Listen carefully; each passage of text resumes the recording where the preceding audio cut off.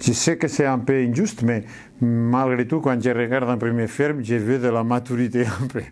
Je veux quelqu'un qui a un peu de, comme dire, d'ambition artistique, qui a un peu qui a, des, des contenus solides, au moins qu'il soit une espèce de génie complètement excentrique, etc. Ce que j'aime pas, c'est le moitié-moitié, c'est le côté académique des gens qui viennent d'école du cinéma, qui fait le premier film. Ça, j'aime pas. Quand on aime un premier film, on l'aime particulièrement parce qu'on aime aussi tout ce que ce premier film promet, euh, tout ce qui pourrait venir après. euh. Ça doit être comme un premier album, ça doit être une première délivrance au monde de tout ce qu'on a dans la tête. Et ça doit être assez fou. Donc je pense que ce prix doit être extrêmement précieux pour ceux qui y participent. C'est un moment où on a des gestes qu'on ne contrôle pas et qu'en fait, euh, souvent, il y a des choses très bien qui sortent. Quoi. Je trouve que c'est toujours intéressant de travailler avec des réalisateurs qui font des premiers films parce qu'il y a un truc d'innocence comme ça et euh, qui est assez agréable en fait. Quand je suis très très touchée par, euh, par un film, euh, de par son histoire, de par euh, sa maîtrise parfois de la mise en scène, quelque part ça, ça, ça me touche encore plus et ça, et ça accentue mon, mon admiration, voire parfois ma passion pour un film, de savoir que c'est un premier film. Bah, disons qu'il y a toujours cette, euh, cette fraîcheur qui fait qu'on est un peu euh, peut-être plus facilement enthousiaste parce que on a l'impression de, de faire une vraie découverte et de pas juste euh, arriver avec plein d'attentes. Et il y a toujours cette, euh, cet élément de surprise qui fait qu'on est euh, qu'on a une, sorte d'enthousiasme particulier.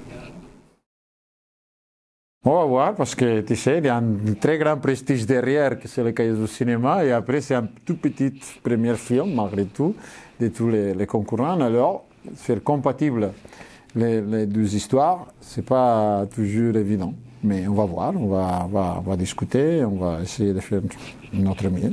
Je me suis rendu compte que, et même au cours de certains ateliers, des critiques, des choses comme ça, que parfois parler euh, sur les premiers films, c'était particulièrement intéressant. Parce qu'il y a, en quelque sorte, on est tous euh, un petit peu à pied d'égalité par rapport au film. On, on découvre, on connaît rien, on n'a pas de repères. euh. Faire partie d'un jury, c'est toujours une grande responsabilité et à la fois une opportunité d'échanger avec des passionnés sur des choses euh, qui nous bouleversent parce que les films euh, et la musique et, et tous ces arts sont des moyens d'expression qui nous rassemblent énormément.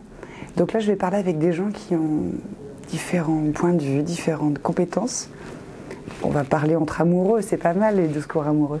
Il y a ce que j'aime, c'est-à-dire euh, parler de cinéma avec des gens qui généralement aiment le cinéma, euh, échanger des avis, euh, rentrer dans cette espèce de processus intellectuel quelque part, mais mélangé d'émotions. Ça, je trouve ça, euh, je trouve ça vraiment chouette. C'est sûr que discuter avec d'autres personnes euh, qu'on ne connaît pas et tout de suite te parler des objets, donc des choses un peu intimes, d'un rapport euh, très personnel euh, à un objet, c'est quelque chose de toujours euh, assez excitant. C'est une histoire où la forme non, du cinéma prend pour la première fois une place complètement centrale. Et euh, c'est pour toujours. On on va jamais revenir en arrière. Et je crois que j'adore les cahiers du cinéma pour ce côté très français, critique. Euh, ça fait 70 ans qu'on est sur un esthétisme et un débat en permanence. En fait, on débat que de sentiments. Moi, je trouve ça assez fascinant comme institution. Et puis qu'on m'y invite, euh, c'est étonnant. Quand j'ai commencé à être actrice, il y avait quelque chose de très sérieux, très classe, quelque part, très passionné en fait. Il m'arrive de lire des critiques de films quand je les ai adorés, parce que j'ai envie de savoir ce que les gens pensent, s'ils pensent comme moi, ou alors que j'ai détesté pour me dire qui a aimé ce film, quelle est la vision d'amour de ce film que j'ai pas aimé du tout?